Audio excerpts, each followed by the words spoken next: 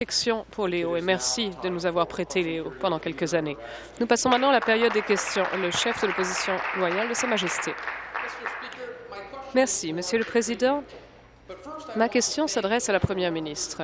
Mais tout d'abord, j'aimerais vraiment remercier les plus de 150 000 infirmières de l'Ontario qui célèbrent la Semaine nationale des soins infirmiers cette semaine.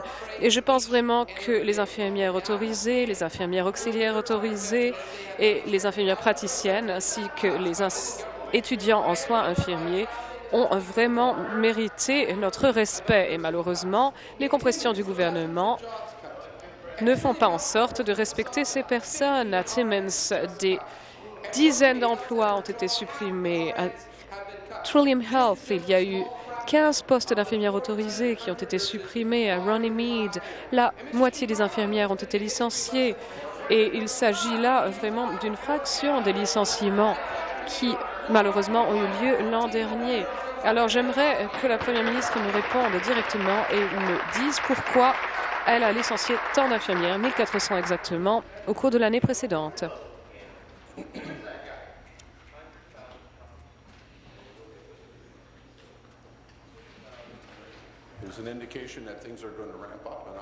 J'ai l'impression que la tension monte, mais je vais faire en sorte de faire baisser la tension. Merci. Merci, Monsieur le Président.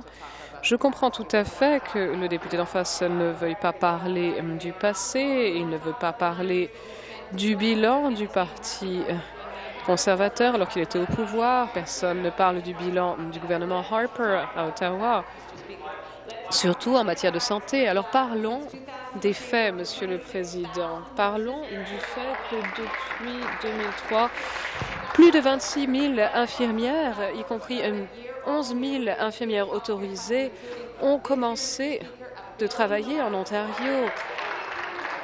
Alors, cette année, il y a eu un milliard de dollars qui ont été investis dans les hôpitaux, ou dans le secteur des soins de santé plutôt, et 345 millions exactement dans les hôpitaux. Il y a des efforts persistants de la part de notre gouvernement pour soutenir ce secteur tout à fait crucial. Et cela fait déjà la onzième année que nous le soutenons. Merci. Complémentaire. Ceci s'adresse encore une fois à la Première ministre. Alors, la semaine dernière à Sault Ste. Mary, il y a eu une réunion au cours de laquelle de nombreux travailleurs de première ligne du secteur des soins de santé ont parlé des conséquences terribles des compressions du gouvernement. Alors, ce sont des gens qui vraiment font tout leur possible pour aider les patients, mais malheureusement, parfois, ils ne peuvent pas le faire seuls. Mais le gouvernement est en train de les forcer à le faire seuls. Et ce sont des gens qui méritent bien mieux que cela. Nos patients méritent mieux. Alors pourquoi, Madame la Première ministre, avez-vous licencié 1400 infirmières l'année dernière? Le ministre de la Santé et des Soins de longue durée. Monsieur le Président, je sais que les gens de Sault Ste. Marie sont tout à fait satisfaits de leur nouvel hôpital et des services qu'il offre, et je sais que les cliniques et les équipes de santé familiale font également un travail extraordinaire en première ligne. Mais, Monsieur le Président, ce n'est pas exact que de prétendre que nous procédons à une compression des postes d'infirmières dans quel secteur que ce soit. Quelque secteur que ce soit, parce que entre 2011 et 2015, eh bien, le chiffre de l'augmentation nette, bon, je sais que l'opposition aime parler des licenciements et des compressions, mais entre 2011 et 2015, l'augmentation nette des postes d'infirmières dans nos hôpitaux a été de 7 625. Rasseyez-vous, s'il vous plaît, rasseyez-vous.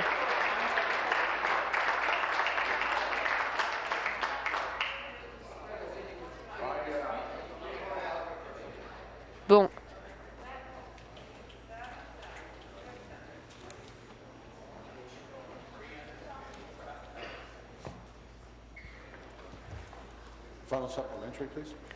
Complémentaire final.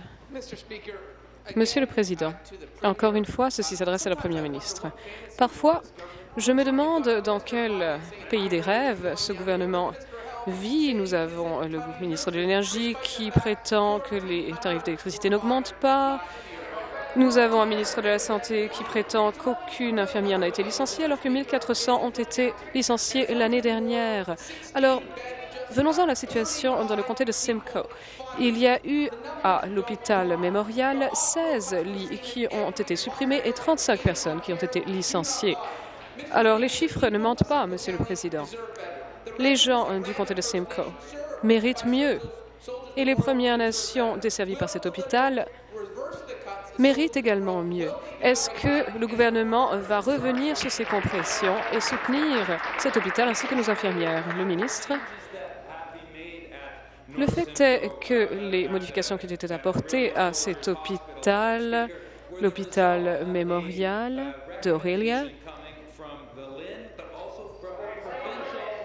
sont en fait le fruit d'une initiative de la part du HERLIS et font partie d'une initiative d'amélioration des soins continus.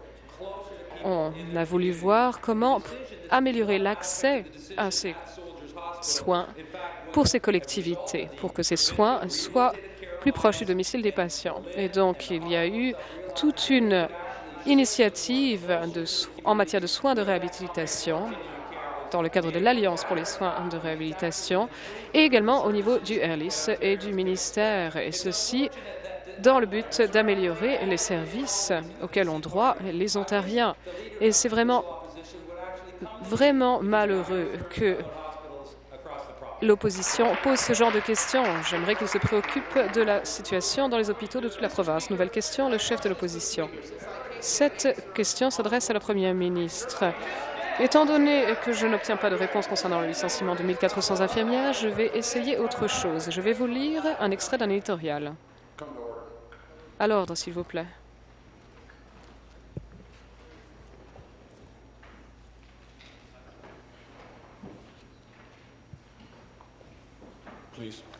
Continuez. Monsieur le Président, j'aimerais euh, vous lire un extrait d'un éditorial publié dans le Toronto Star la fin de semaine dernière. Ce qui est dit, c'est que le gouvernement voulait réduire les temps d'attente sur liste d'attente pour les enfants autistes, mais malheureusement, on exclut les enfants de plus de 5 ans. C'est ainsi que l'on le fait, et ce n'est pas juste comme approche.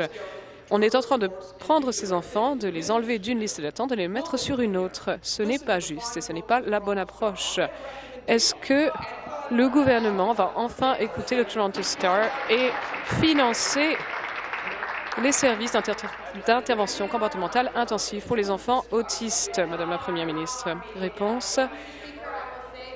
Alors, j'aimerais dire qu'il y a des représentants de ces enfants qui sont assis dans les tribunes aujourd'hui. En tout cas, je pense qu'il est très, très important de bien comprendre ce qui se passe sur le terrain. Il y a des enfants qui languissent sur liste d'attente et qui malheureusement, n'obtiennent aucun service. Ceci est inacceptable.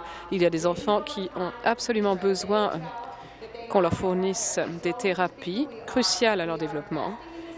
Et donc, nous investissons dans le système pour que ces enfants puissent obtenir les services dont ils ont besoin. Nous travaillons avec les familles, les fournisseurs de soins, le système éducatif également travaille avec ses enfants et leurs familles pour leur permettre d'effectuer une transition sans anicroche et également de recevoir les services dont ils ont besoin afin qu'ils puissent commencer leur vie sociale à l'école. Donc, il faut absolument les enlever de ces listes d'attente et commencer leur transition complémentaire. Je reviens à la Première ministre. Mais est-ce que la Première ministre n'a pas lu cet éditorial? Elle peut, écouter Michael Barrett, le président des euh, conseils scolaires de l'Ontario, qui a dit « C'est jamais trop tard pour faire une erreur. Le traitement d'ICI pour les enfants de plus de 5 ans, d'arrêter ce traitement est une erreur. Et par exemple, un enfant de 5 ans quitte à Toronto, qui dit, dont la mère dit que c'est dévastateur pour son avenir. Et c'est euh, cet arrêt dévastateur vraiment casse le cœur de sa mère. Pourquoi est-ce que ce gouvernement enlève le traitement ICI des enfants qui en ont besoin désespérément? La première ministre?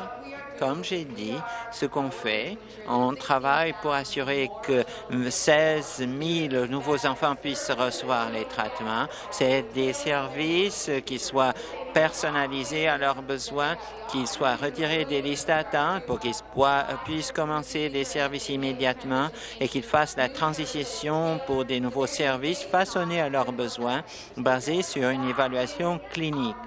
Ça, c'est quelque chose qui est beaucoup plus avantageux pour un enfant que d'être attendre sur une liste d'attente. Et franchement, je ne comprends pas pourquoi le chef de l'opposition aimerait que les enfants attendent dans la liste d'attente sans recevoir des services quand ils savent euh, parfaitement euh, que les enfants ont besoin de services euh, de façon continuelle. Interruption du président. Alors, s'il vous plaît. La chef du troisième parti. Alors, s'il vous plaît.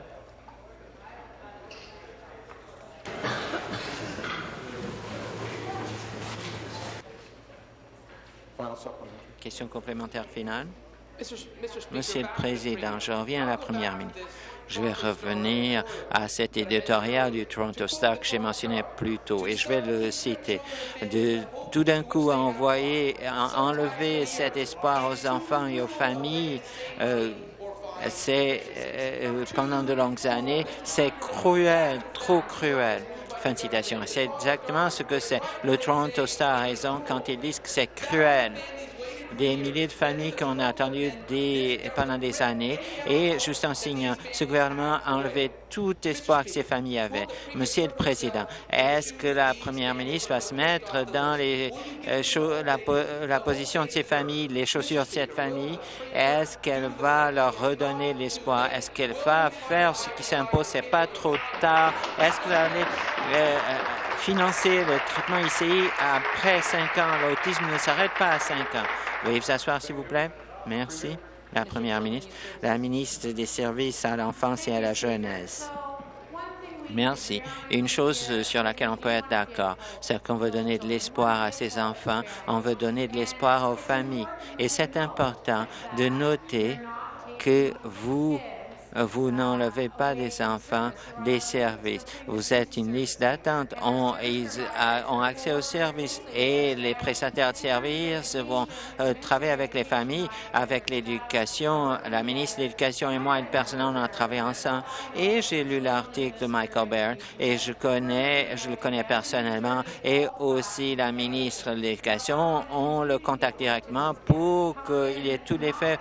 Comment on va continuer à donner euh, de Et on ne veut pas accepter qu'il soit sur la liste d'attente euh, potentiellement jusqu'à 5 ans d'ici 2018. Personne ne le veut. C'est très important qu'on travaille avec nos partenaires en éducation parce que beaucoup d'enfants veulent aller à l'école bientôt et on veut les appuyer. Merci. Nouvelle question. La chef du troisième parti. Merci. Ma question s'adresse à la première ministre. Quand les familles sont plus vulnérables, comptent sur une infirmière. Mais depuis 16 mois, les infirmières ont été congédiées à un, taux de 90 par euh, mois. C'est trois par jour. Est-ce que cette première ministre va s'engager et qu'il y ait plus d'infirmières autorisées ou d'infirmières praticiennes qui reçoivent une feuille rose de congédiement? Et aucune infirmière euh, euh, reçoit euh, des, des congédiements. Réponse de la Première ministre. J'ai déjà donné la réponse si je répète. Année après année, on a augmenté le nombre de postes et de l'argent qui pour les services infirmiers dans le soin de santé. Et le ministre de la Santé et des soins de longue durée a rendu clair qu'entre 2011 et 2000 15, plus de 7000 infirmières ont été embauchées et placées dans cette province. Le fait, si on regarde le changement dans le système, oui, il y a des services qui sortent des hôpitaux et qui deviennent des services communautaires, souvent plus proches euh, que des gens, et cela veut dire qu'il y a des changements de personnel, d'endroits, mais cela ne veut pas dire qu'il y a moins de fournisseurs de soins de santé. Ça veut dire qu'il a plus de fournisseurs de santé quand on augmente les services. Merci. Question complémentaire? Vendredi, la première ministre était à un hôpital d'Ottawa, mais de l'autre côté de la ville, dans un autre hôpital d'Ottawa, euh, les infirmières ont reçu des avis de mise à pied. À l'hôpital Queensway Carlton, on a dit que cinq postes à plein temps et un poste à temps partiel pour les, le programme des naissances était mis à pied et dans la chirurgie, un poste à temps partiel était éliminé. Moins d'infirmières, ça veut dire moins de services et cette première ministre responsable de la réduction de postes d'infirmiers, des soins infirmiers, c'est la mauvaise chose. Les familles, euh, les néo-démocrates le savent, les patients et euh, les euh, néo-démocrates aussi. Comment vous pouvez justifier pendant la semaine des infirmières que vous réduisez des postes? Le ministre de la Santé et des Soins de longue durée, Monsieur le Président, j'aimerais qu'on puisse être d'accord au moins sur une chose, qu'on choisit une source indépendante des statistiques qu'on donne ici dans l'Assemblée législative, qu'on ne parle pas de, des euh, chiffres en gros ou des mises en pied sans parler des nouveaux postes. Et je pense qu'on pourrait être d'accord que c'est transparent pour tous les Ontariens que l'Ordre des infirmières de l'Ontario, qui publie sur une base annuelle les statistiques pour les postes d'infirmières de la province. Si vous ne pouvez pas, voulez pas croire à l'Ordre des infirmières, c'est votre choix. Mais ils ont indiqué que l'année dernière, presque 3 000 postes d'infirmières nouveaux ont été ajoutés, qu'ils ont publié depuis cinq ans presque 8 000 euh, nouveaux postes nets. La plupart, c'est des infirmières autorisées. Moi, je crois à l'ordre des infirmières et j'implore à l'opposition de le croire aussi. Question complémentaire. Depuis 2012, les libéraux ont enlevé 100 millions de dollars du budget des hôpitaux d'Ottawa. C'est un fait, forçant euh, les hôpitaux à réduire les services de première ligne année après année. C'est un fait. À euh, l'hôpital des enfants malades de l'Est de l'Ontario, on a réduit 27 postes à plein temps et un autre fait. Maintenant, vendredi, le ministre de la Santé a admis, que le financement aux hôpitaux d'Ottawa, comme l'hôpital Montfort, ne va pas maintenir, euh, maintenir le pas avec la croissance de la population. Ça veut dire qu'on aura une autre année de réduction de services à Ottawa. Quand, quand est-ce que cette première ministre va arrêter les réductions de postes infirmiers à Ottawa, dans les hôpitaux d'Ontario? Ministre. Oui, on était à l'hôpital Montfort. On a annoncé un nouveau financement et une augmentation de 19 euh, millions de dollars pour l'hôpital d'Ottawa et c'était un fait par tout indicateur selon l'Ordre des infirmières de l'Ontario. On a plus d'infirmières autorisées qu'on avait quand on, nous sommes arrivés. On a eu plus d'infirmières praticiennes autorisées aussi bien que euh, d'infirmières praticiennes. Je ne peux pas m'empêcher. L'histoire nous donne de bonnes leçons. On a le troisième parti qui, où, trois infirmiers autorisés ont perdu leur poste quand ils ont réduit le financement, pendant qu'ils étaient au gouvernement, quand ils ont fermé 24 euh, 2400 euh, euh, lits de soins actifs dans la province. Je ne vais pas prendre de leçons de Interruption du président. Veuillez vous asseoir, s'il vous plaît. Redémarrer la pendule. Nouvelle question. La chef du troisième parti. Merci. Ma question s'adresse aussi à la première ministre. Vendredi dernier, j'étais à Sarnia. J'ai rencontré un, couple de personnes âgées qui ont déménagé à Sarnia parce que les réductions de soins euh, à Wallaceburg avaient eu tellement de réductions. Ils voulaient aller ailleurs où ils pourraient euh, vieillir avec dignité. Maintenant qu'ils sont à Sarnia, l'hôpital est obligé de réduire euh, le nombre de postes de 5 millions de dollars de son budget et, le nombre de, euh, de, travailleurs va, sera réduit à 80 et ils ont encore un manque à gagner d'1,7 million de dollars. Ce euh, couple de personnes âgées pensait qu'ils auraient de la sécurité en déménageant, mais les gens ne peuvent pas s'échapper des réductions. Est-ce que la première ministre va faire ce qui s'impose et assurer qu'il n'y a pas de réduction dans les hôpitaux? Le ministre de la Santé et des Soins de longue durée on augmente le financement des hôpitaux de 345 millions de dollars partout dans la province. 1,4 2,1% d'augmentation dans la ligne du budget. Et cela inclut l'hôpital de Bluewater à Sarnia. Ils ont, en mieux que d'autres, 3,5 millions dans le budget d'exploitation, c'est 2,7 comme augmentation dans le budget d'exploitation. Le fait qu'on continue à investir dans les soins de santé, 345 millions de dollars pour les coûts d'exploitation des hôpitaux, une augmentation de 2 Et cela, on ne parle même pas des investissements pour les mobilisations énormes qu'on aura. Question complémentaire. Sarnia ne réduit pas 11 emplois et ils n'ont pas seulement 5 millions de réduction. L'unité des soins complexes doit fermer 8 lits et à la première ministre, à son ministre et aux, libéraux qui gouvernent, c'est peut-être de dorer et de dire de bons mots. Pour nous, c'est les familles qui sont importantes, euh, qui doivent recevoir des traitements à l'hôpital communautaire. Est-ce que la première ministre va répondre à la crise silencieuse qui est en ce moment dans les hôpitaux? Et on va arrêter les coupures dans les hôpitaux maintenant? Réponse du ministre comme j'ai mentionné, on continue à investir. Et je veux parler des investissements d'immobilisation indiqués dans le budget récent de, pour, sur la prochaine décennie. On va investir 12 milliards de dollars pour les hôpitaux dans les rénovations et expansions et des nouveaux hôpitaux partout dans la province. C'est un investissement important, mais nous reconnaissons que les hôpitaux ont des coûts de maintien qui continuent et de petites rénovations.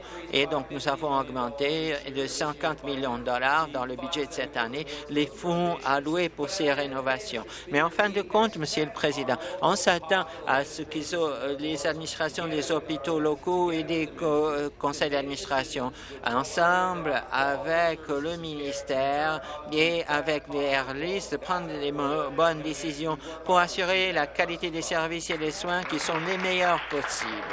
Merci. Question complémentaire finale. Ces hôpitaux vont avoir des problèmes à servir des patients quand il n'y a pas des infirmières à côté des lits.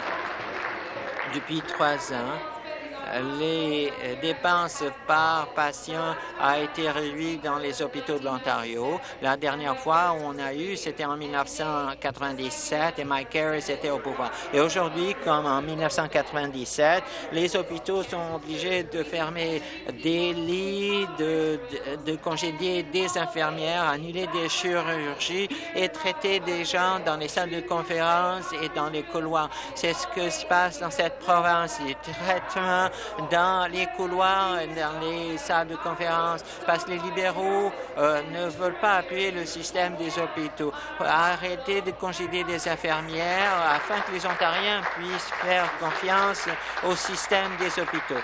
Veuillez vous asseoir, s'il vous plaît.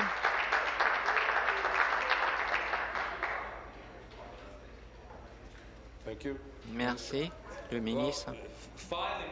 Finalement, quelque chose avec laquelle on peut être d'accord, que le Parti conservateur, quand il était au pouvoir, il a 6 000 infirmières qui travaillaient à la fin de leur mandat. Il a 3 000 euh, moins d'infirmières quand euh, le gouvernement élu du, des non-démocrates comparé euh, du début à la fin.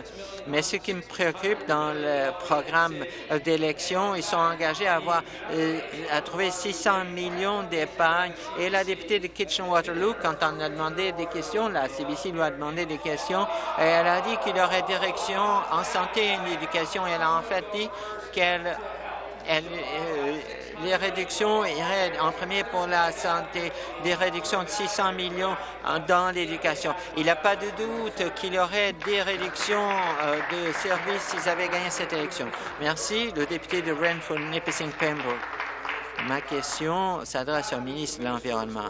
La semaine dernière, le euh, ministre a été obligé de revenir sur les mauvais commentaires quant au secteur automobile en Ontario. En dépit des changements, on sait que dans le fonds de l'énergie verte, on utilise le fonds, euh, les fonds de plafonnement et d'échange pour utiliser pour des euh, stations de chargement. On est content qu'il ait changé d'avis vu après avoir été prévenu par la première ministre. Mais pourquoi est-ce qu'il a des millions de dollars de contrats à Hydro-Québec pour installer des stations de chargement de véhicules quand il a plein de compagnies ontariennes qui peuvent... Réponse du ministre, c'est un bon commentaire. Moi, contrairement aux députés d'en face, on a appuyé le plus gros investissement dans le secteur automobile en Ontario. Je suis très fier d'avoir travaillé avec le secteur automobile sans l'appui euh, du euh, parti d'en face qui ne veut pas voir aucun revenu du système de plafonnement et d'échange pour le secteur automobile et on va faire beaucoup d'investissements. Je n'ai pas à recevoir des leçons du député d'en face. Si quand il peut euh, démontrer qu'il a voté euh, même proche des députés de ce côté pour aider et pour tirer des leçons de ce système de plafonnement et échange dans la modernisation du plan et en développant de nouveaux marchés.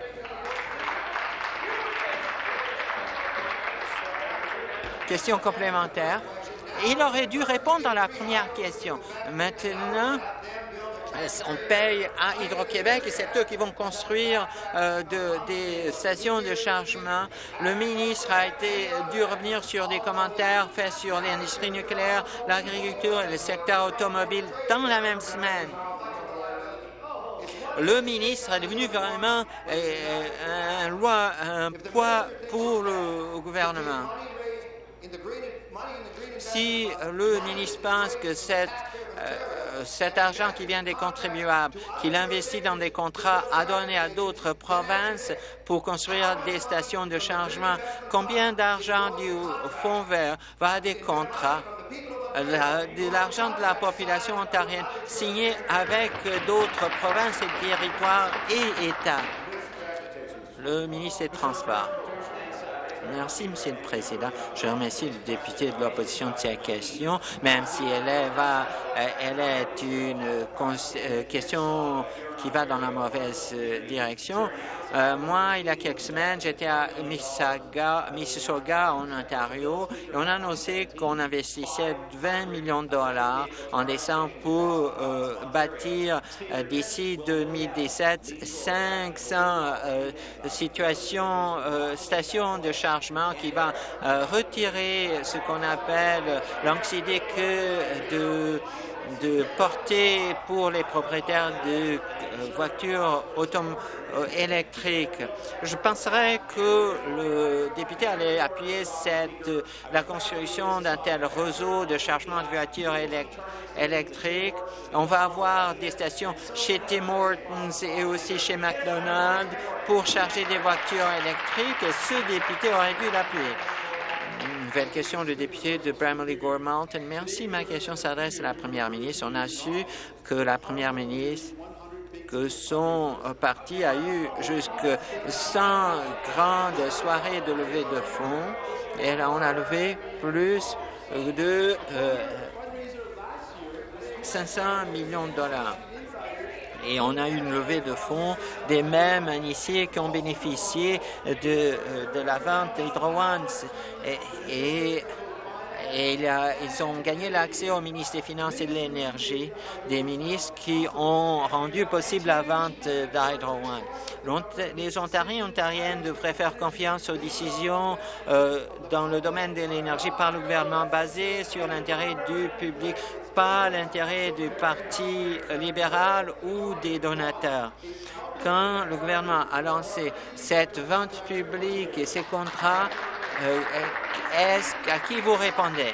Réponse de la première ministre. Vous savez, comme j'ai dit, et qu'on a agi pour changer euh, les dons politiques en Ontario, les contributions politiques, les renseignements du député euh, de troisième parti, et c'est public, les événements et le reporter Angel Moore a pris ces renseignements, mais le leader adjoint est d'accord qu'on devrait interdire, euh, qu'on devrait l'interdire, mais la chef du troisième parti, je ne sais pas si elle est d'accord ou pas, parce qu'elle ne parle pas.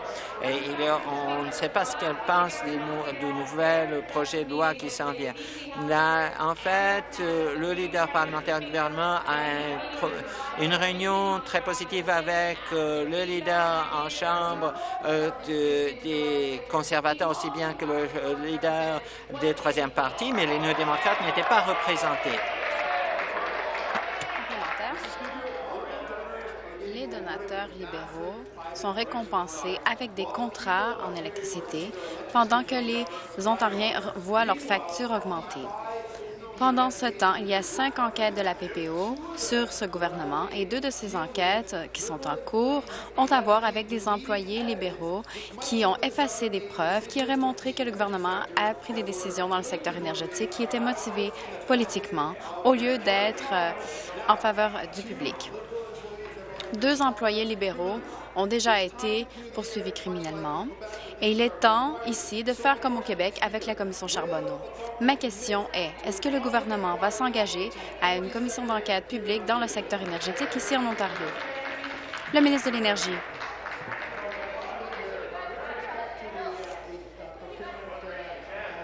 Par rapport à l'appel d'offres qui a rapport au premier appel public à l'épargne, comme le sait le député d'en face, le vérificateur général du Canada a établi un processus pour ces appels d'offres euh, et l'a revu.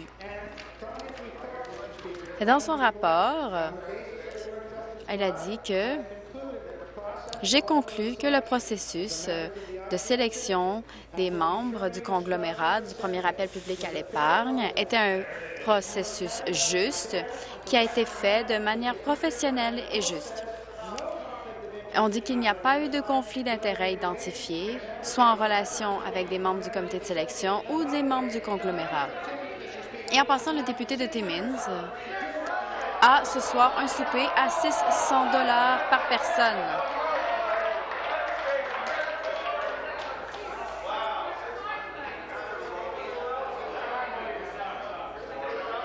À l'ordre.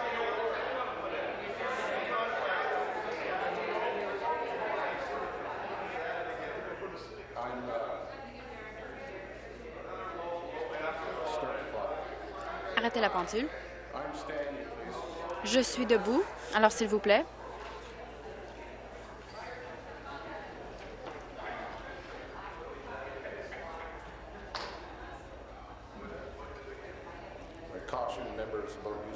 J'avertirai les députés.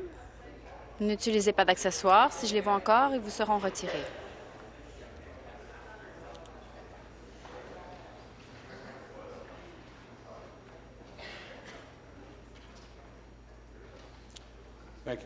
Merci. Nouvelle question. Député de Cambridge. Désolé. On va réessayer. La députée de Cambridge. Ma question est pour le ministre du Travail. Dans ma collectivité de Cambridge et North Dumfries, l'été veut dire la fin de l'école et cela veut dire que plusieurs jeunes ont des emplois d'été. Plusieurs pour la première fois. Liam, mon fils de 19 ans, a commencé son emploi d'été hier. Il m'a dit que sa première journée a inclus la formation sur la sécurité au travail et il va faire d'autres formations en sécurité aujourd'hui. Récemment, le ministère a publié sur le site Internet des résultats de ces blitz. Et cela démontre que notre gouvernement agit, mais nous savons qu'il faut en faire plus.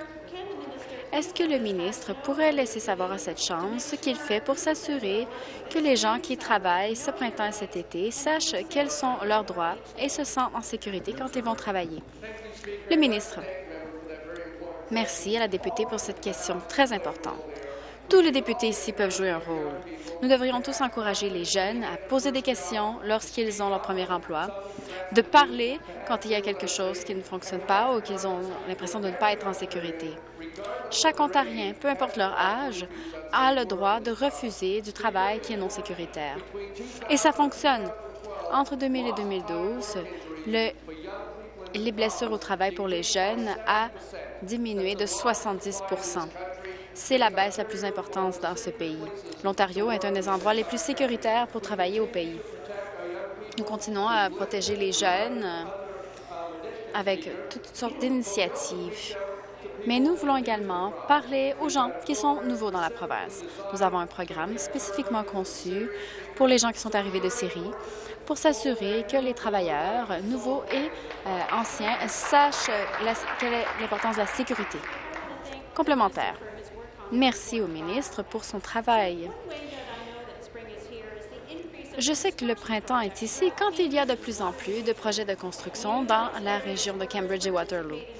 Des nouveaux travailleurs participent dans ces projets, comme par exemple l'hôpital Memorial, la 401, pour aider nos villes à, s'améliorer. Je sais que le ministre prend la sécurité et la santé très au sérieux, mais malheureusement, il y a encore des incidents qui se produisent dans la province. Les travailleurs continuent à être blessés au travail ou, encore pire, perdre leur vie. Quand j'étais infirmière à l'urgence, j'ai vu trop de ces blessures. Je sais que presque toujours, ces incidents auraient pu être, être prévenus. Il faut s'assurer que tous les travailleurs retournent à la maison à la fin de la journée. Est-ce que le ministre peut nous dire comment le gouvernement aide ceux qui travaillent sur des projets de construction? Merci encore à la députée pour sa bonne question. Elle a parlé d'une des parties les moins... Euh, des pires parties de euh, ce travail de ministre. Quand on reçoit un appel et qu'on entend que quelqu'un qui est parti au travail ce matin n'est pas revenu à la maison. Nous avons donc augmenté la formation en sécurité au travail qui est maintenant obligatoire. Chaque travailleur dans la province doit suivre cette formation avant de commencer à travailler. Il y a des formations obligatoires pour ceux qui travaillent en hauteur, par exemple. Et depuis avril cette année, 100 000 personnes en un an ont euh, été formées pour travailler en hauteur. Cela fait de l'Ontario un des endroits les plus sécuritaires au pays pour travailler. Il y a également des inspections ciblées et chaque incident peut être empêché. Alors, travaillons en ce sens. Nouvelle question, la députée de Dufferin-Caledon. Ma question est pour la ministre de l'Éducation. Après des changements faits à la loi sur les garderies, les enfants qui entrent à l'école en septembre, qui ont moins de 4 ans, ne pourront plus aller dans les camps d'été. Cette décision affecte les familles L'Association des camps de l'Ontario n'a pas été consultée sur ce changement. Elles ont dit la loi a été révisée sans des consultations ou sans l'opinion des membres ou des familles. Aucun enfant ne devait être laissé derrière à cause de leur âge. Les enfants qui vont avoir quatre ans avant le 31 décembre peuvent s'inscrire à l'école, mais ne peuvent pas s'inscrire au camp d'été. Madame la ministre, est-ce que vous allez corriger cette erreur et et mettre à jour cette, cette euh, limite d'âge? La ministre, j'aimerais clarifier des choses ici parce qu'on dirait qu'il y a beaucoup de confusion. C'est un changement qui a été fait lorsque la loi a été adoptée, la loi sur euh, les garderies. Plusieurs croient que c'est un règlement qui vient d'être publié hier. Non, cela n'a rien à voir avec le règlement. C'est quelque chose qui a été adopté il y a plus d'un an et demi. Il y a eu donc une période très longue avant que ces changements prennent effet parce que la loi en tant que telle a été adoptée il y a un an et demi. Si on remet cela dans le contexte de ce que nous essayons de faire avec cette loi, eh bien, une des choses que nous avons constatées, c'est qu'il y avait des situations où les enfants n'étaient pas en sécurité. C'était souvent des enfants euh, sous un certain âge. Merci, complémentaire. Il n'y a pas un seul exemple d'un enfant dans le système de camp d'été qui a été impacté, un enfant euh, en bas de 4 ans. Alors, n'utilisez pas l'argument de la sécurité.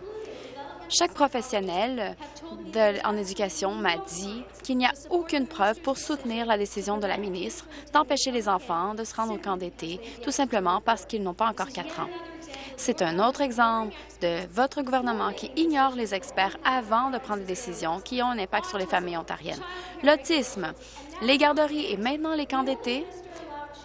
Quand la est-ce que la ministre va permettre aux enfants qui auront quatre ans avant le 31 décembre de s'inscrire au camp d'été cet été? La ministre. Comme je l'ai dit, c'est une question de, de loi ici et pas de règlement. Si on examine la situation, ces enfants ne sont pas empêchés de se rendre au camp. Ce que la loi dit, c'est que s'il y a un groupe d'enfants qui sont sous un certain âge, il faut un permis de garderie. Parce que l'association des camps d'été n'est pas une association obligatoire, elle est volontaire. Mais plusieurs camps d'été en Ontario ne sont pas membres d'aucune association. Il n'y a aucune autorité réglementaire qui contrôle ces camps. Il faut s'assurer que nos enfants les plus jeunes sont en sécurité. Et pour s'assurer de cette sécurité, intervention du président, cela n'aide pas quand j'essaie d'entendre une réponse et que les gens euh, ont des conversations d'un côté et l'autre de la Chambre. Nouvelle question. Député de Hamilton East Stony Creek. Ma question est pour la première ministre. Le champ sportif Tim Hortons a été donné à la ville de Hamilton l'an dernier et il n'était pas terminé. Et c'est devenu un fiasco. La complétion a été faite très rapidement pour s'assurer que le stade était utilisé pour les Jeux panaméricains. Maintenant, une autre année a passé et le stade, encore une fois, n'est pas terminé. Deux ans plus tard, la ville de Hamilton et les Tiger Cats en ont assez à la Cour supérieure, on demande des dizaines de milliers de dollars en dommages. Assez, c'est assez.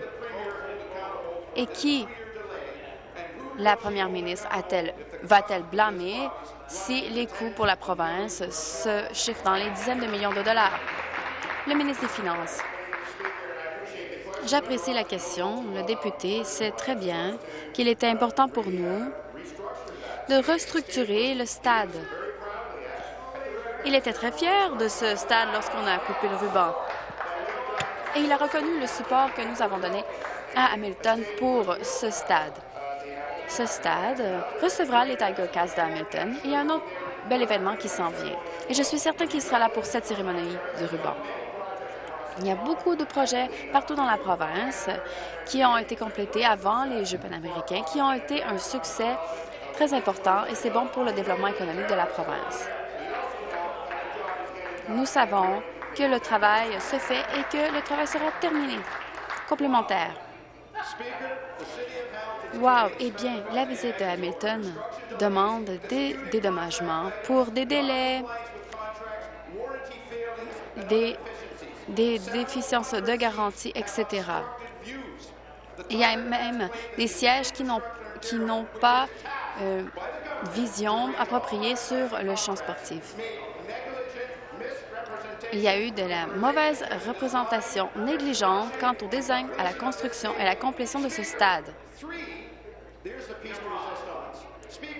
Et trois exécutifs euh, du, des Jeux panaméricains ont été dans les premiers de la liste Soleil l'an dernier pour leur salaire et bonus.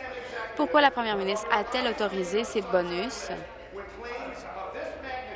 Quand il y a de tels dédommagements qui sont demandés au comité organisateur. Le ministre des Finances.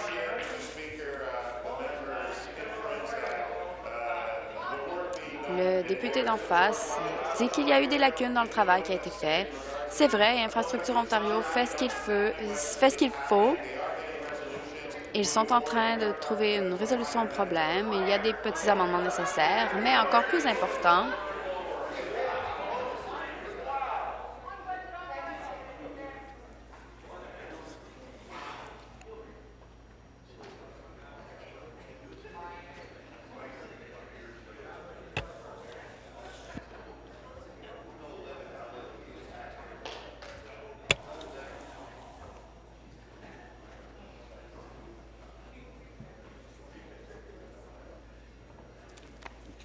Merci. Veuillez terminer. Ce qui est important, c'est que le stade était prêt pour les Jeux et il sera prêt pour les Tiger Cats de Hamilton, à temps pour le championnat. Nouvelle question, le député de Newmarket Aurora. Merci. Ma question est pour le ministre des Ressources naturelles et des Forêts. Je sais que la loi sur les terres publiques est administrée par le ministère et gouverne les activités sur les terres de la Couronne. Monsieur le ministre, il y a peut-être la confusion sur les gens qui ont des terrains près de l'eau parce qu'une décision de la Cour supérieure de l'Ontario vient de changer les demandes de permis pour euh, les quais en Ontario. Je comprends que certains quais, donc, euh, demanderont un permis du ministère dans des situations où un permis n'était pas demandé auparavant. Les résidents de Newmarket Aurora qui ont des résidences près de l'eau veulent savoir quels sont les changements, pourquoi ils ont été faits avant de se rendre au chalet pour ce long week-end de mai. Est-ce que le ministre peut expliquer quels sont les changements dans les demandes de permis? Et pour les gens qui veulent construire un nouveau quai, euh, devraient savoir? Le ministre. Merci beaucoup. J'aimerais remercier le député de Newmarket Aurora pour sa question.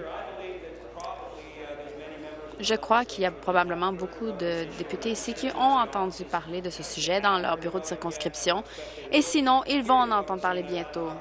J'ai eu l'occasion de parler à au moins trois députés de l'opposition officielle.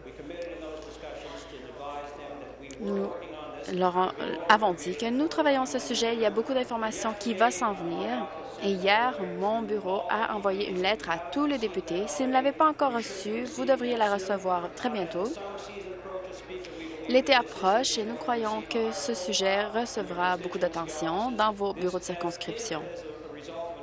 Et ceci est le résultat d'une décision de la Cour supérieure de l'Ontario concernant la loi sur les terres publiques. Et dans la complémentaire, j'avais donné plus d'informations qui n'est peut-être pas dans la lettre que vous allez recevoir. Merci au ministre pour sa réponse. Je comprends que, de façon historique, le ministre a donné des permis et c'était seulement nécessaire quand ces quais étaient attachés à euh, plus de 15 mètres carrés de terre. Mais maintenant, avoir un quai qui flotte sur l'eau est considéré comme occupant le terrain qui est sous l'eau. Et à cause de ce changement, par rapport aux anciennes procédures, votre ministère travaille à simplifier le processus pour ceux qui veulent euh, rénover ou construire un quai qui sont de plus de 15 mètres carrés. Est-ce que le ministre peut expliquer comment le ministère travaille pour s'adresser à ce problème? Et ce que les gens euh, qui veulent construire un quai peuvent, euh, devraient savoir? Réponse. Encore une fois, merci aux députés pour euh, me répéter. Cela vient d'une décision de la Cour euh, supérieure de l'Ontario. Certains quais seront donc l'objet d'un permis maintenant où ce n'était pas nécessaire auparavant. Les nouveaux quais maintenant et des, extensions à des quais existants feront l'objet d'un permis s'ils sont de plus de 15 mètres carrés. Les quais plus petits, de 15 mètres carrés ou moins, ne font pas l'objet d'un permis ou d'une autorisation selon la loi. Je vais continuer à communiquer cette information du mieux possible. Et j'aimerais être très clair ici, il n'y aura pas de frais associés avec euh, le fait d'obtenir ces permis. Les gens doivent le savoir et j'ai également demandé qu'on s'adresse à cette situation. Donc, d'ici l'automne, nous pourrons faire des annonces à tous les députés qui ont été affectés pour que dans les années suivantes, nous n'ayons pas à le refaire. Nouvelle question, le député de Lanark, Frontenac et Addington. Ma question est pour la ministre de l'Éducation. La semaine dernière, pendant la semaine sur la santé mentale des enfants, le directeur euh, du conseil scolaire de chez nous a annoncé sa décision d'arrêter le traitement qui aidait des centaines d'enfants qui avaient des problèmes de comportement. Est-ce que la ministre sait que ce conseil scolaire de Upper Canada met ses enfants dans une situation de désavantage et qu'il sera impossible de donner des services de qualité euh, qui devraient être donnés selon la loi sur l'éducation. La ministre, selon ce que je comprends, cet établissement en question est opéré de façon privée Dans la loi sur l'éducation, il y a quelque chose qu'on appelle des écoles de l'annexe 23, où on envoie des professeurs s'occuper des gens qui sont là-bas. Ça peut être des hôpitaux, des établissements correctionnels, des euh, établissements de soins de santé mentale, un peu comme dans ce cas-ci.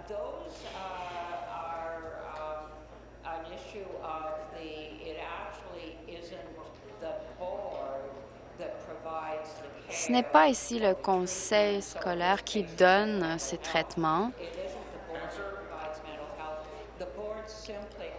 Le conseil ne fait que euh, offrir l'enseignement ou est complémentaire. Pour retourner à la ministre de l'Éducation, c'est malheureux qu'elle ne sache pas, n'en sache pas plus sur ces programmes. Mais Contrairement au directeur du conseil scolaire, je reconnais le travail fait par les employés du ministère. Cependant, nous savons que ce programme de traitement était pour 36 enfants et les nouveaux services vont être réduits à 24 enfants. De plus, ces traitements ne seront plus donnés aux enfants de 7e et 8e année. Et, contrairement à l'ancien service, le nouveau service n'offrira plus de, de psychologues et psychiatres pour diagnostiquer les enfants. Est-ce que la ministre va confirmer que ces réductions sont vraies? Et si c'est le cas, pourquoi est-ce que la ministre permet au conseil scolaire euh, d'éliminer ces services qui sont si nécessaires? La ministre. La ministre des Services à l'enfance et à la jeunesse. J'ai eu une conversation avec le député la semaine dernière concernant ce sujet. Cet établissement est privé, mais a un permis du ministère. Il y a eu des réunions avec le conseil scolaire, avec mes employés, avec l'Agence de santé mentale locale également, pour discuter du fait de maintenir ce programme jusqu'à la fin de l'année scolaire et d'offrir une bonne transition à ces jeunes. C'était la semaine de la santé mentale des enfants la semaine dernière et nous avons parlé de cela en Chambre. Alors, ce que j'aimerais dire maintenant, comme je suis la ministre responsable de la santé mentale des enfants, eh bien, nous voulons nous assurer que les enfants qui ont besoin de ces services les reçoivent au bon endroit, au bon moment, d'une façon appropriée pour eux. Et c'est pourquoi nous avons fait des investissements très importants et je serai heureuse d'en parler plus. Le... Nouvelle question, député d'Algoma Manitoulin. Pour le ministre de la Santé et des Soins de longue durée. Dans mon bureau, ce printemps, les concitoyens ont appelé parce qu'ils s'inquiétaient des coupures de l'hôpital Matthews et l'urgence sur l'île Saint-Joseph les possibilités de réduction de soins d'urgence de 24 heures vers 12 heures est très inquiétante pour ces gens. Il y a plusieurs euh, localités qui, qui seraient dévastées. Les patients et les familles méritent de savoir ce qui se passe à leur hôpital local.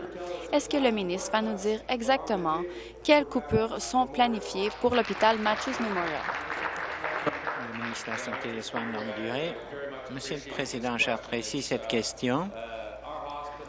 nos hôpitaux sur une base régulière quand ils essaient de maintenir et d'améliorer des services et de fournir un environnement de santé durable, ils étudient des recommandations différentes sur comment ils peuvent modifier. Mais ils le font, ils sont obligés de le faire dans un contexte où il y a une attente que le niveau de soins est maintenu ou amélioré, que ces services importants pour la collectivité, en particulier ceux qui sont desservis par Matthew, soient maintenus. Ils le font en concertation avec le RLIS et le ministère. Les décisions ou des idées que le conseil d'administration ou l'administration ont sont partagées avec le RLIS, ils partagent avec le ministère afin que les trois parties avec l'implication communautaire soient impliquées. Il n'y a pas de décisions qui ont été faites quant à cette question.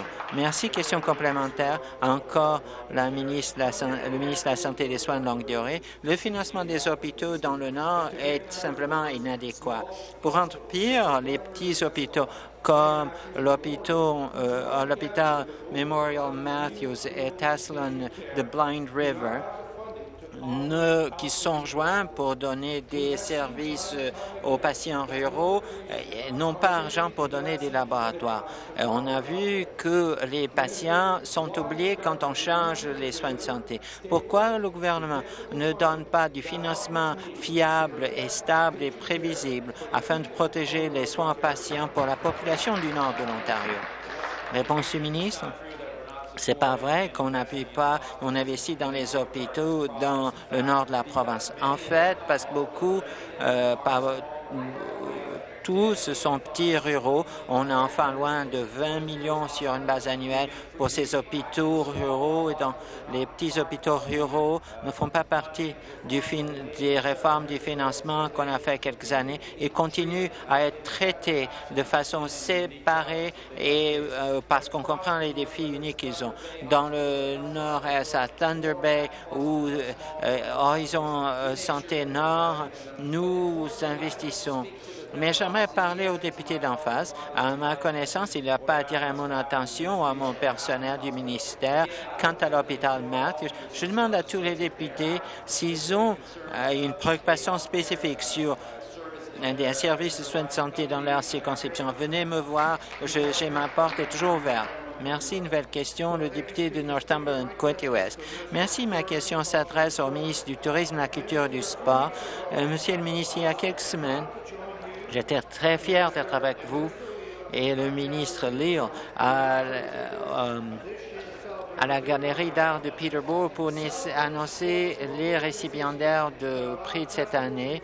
Il y a beaucoup de festivals et d'événements et on veut bâtir de la capacité. J'étais content que Music Fest de Peterborough a reçu du financement. C'est le 30e année de Music Fest de Peterborough qui euh, est aux côtes du petit lac, euh, qui est très pittoresque, et ça devient vraiment un festival très important pour la région.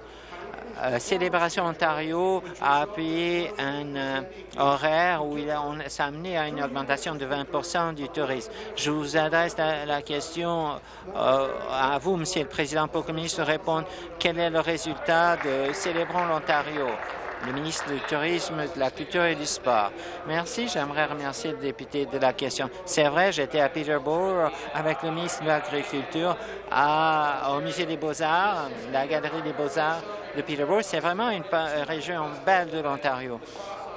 Célébrons l'Ontario a des fonds qui appuient 200 festivals et événements à travers l'Ontario pour augmenter la présence des gens et on a, par exemple, eu l'appui à la Victoria Playhouse qui a surpassé ses objectifs et a attiré plus de 4,3 millions de l'Ontario pour la région du sud-ouest de l'Ontario. C'est une histoire qui a été répétée dans toute la province. Le festival Stratford et le grand défi du kayak, euh, le Blue Fest, à Ottawa, aussi bien que le Festival des Lumières de l'hiver de Niagara. Notre gouvernement appuie les organisations locales.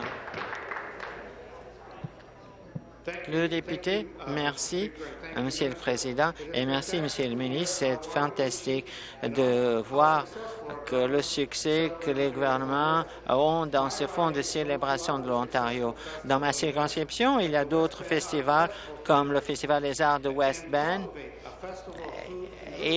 cultiver un festival euh, d'alimentation et euh, de boissons avec euh, le festival du centre-ville. Et il y a des événements dans le nord de l'Ontario, dans les collectivités rurales et dans le sud-ouest et au, bord du lac, à Sudbury.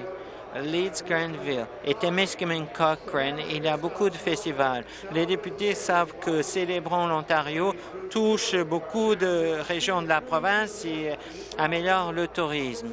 Monsieur le ministre, est-ce que vous pouvez dire à la Chambre comment Célébrons l'Ontario aide le tourisme en Ontario? Réponse du ministre. Merci, Monsieur le Président.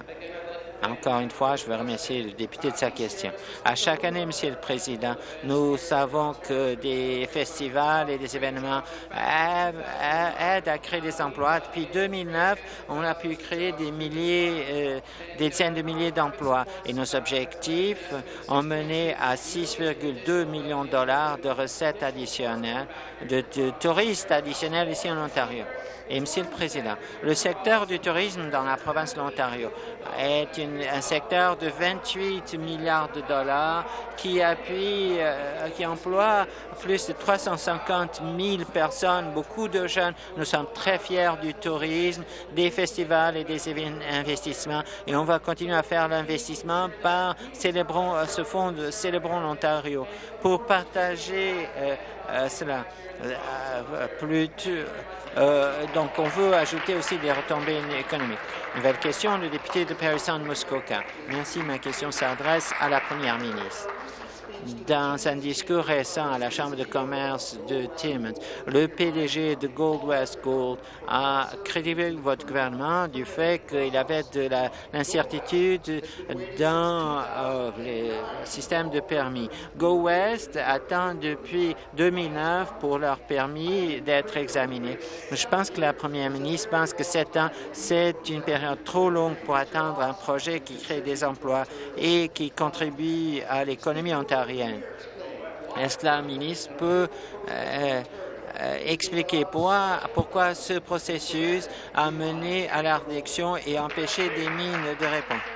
Le euh, ministre des Services aux consommateurs et aux gouvernementaux, merci.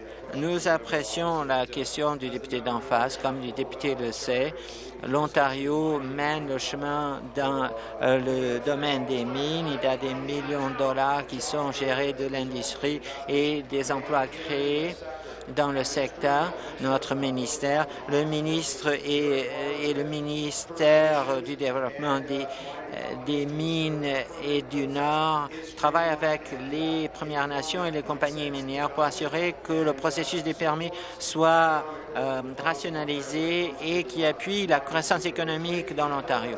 Nous sommes très contents avec le progrès, mais nous savons qu'il y a encore du travail à faire et le ministre du Développement du Nord et des Mines s'engage à faire beaucoup de travail.